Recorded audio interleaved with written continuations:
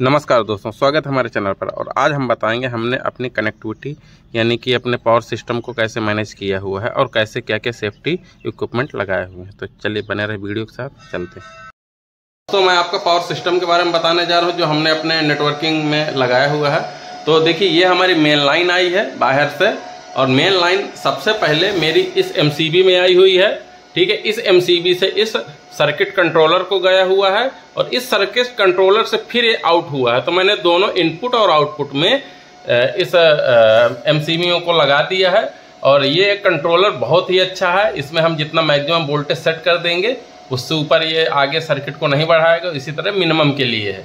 ठीक है दोस्तों, और साथ में इसमें टाइमर सिस्टम भी है, साथ में एम्पियर कितना इस समय यूज़ हो रहा है, इसमें वोल्टेज कितना ये सभी चीज़ें बताता है।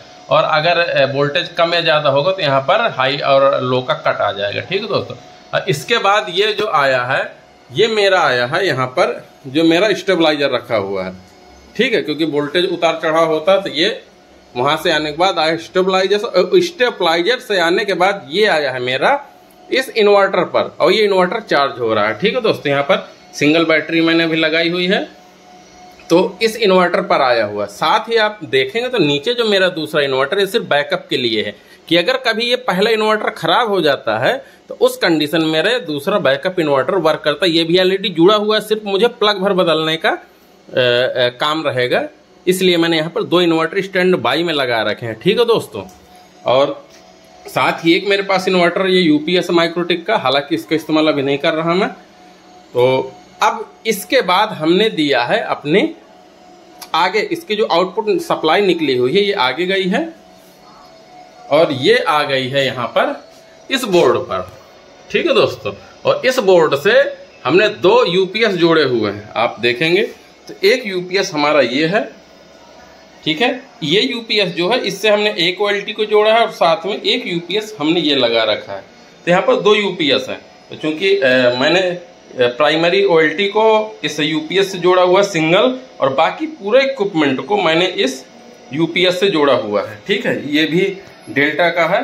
और ये जो यूपीएस है, ये ऑटो स्टार्ट यूपीएस है।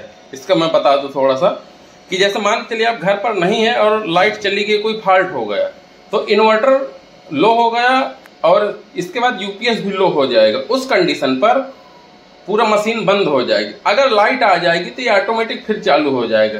कई कभार यूपीएस होते जिनमें बटन दबाकर ऑन करना पड़ता है, लेकिन ये ऑटो स्टार्ट है। ठीक है दोस्तों? इसके बाद जो इसका आउटपुट है, वो गया है, हमारे इन पर गया हुआ है।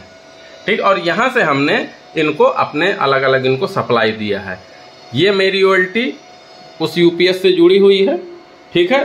और बाकी पूरा इक्विपमेंट नीचे के जितना मेरे सर्वर स्विचेज हैं, ये सभी उस दूसरे यूपीएस से जुड़े हुए हैं। और साथ ही जितना एयर फाइबर है, वो भी मेरा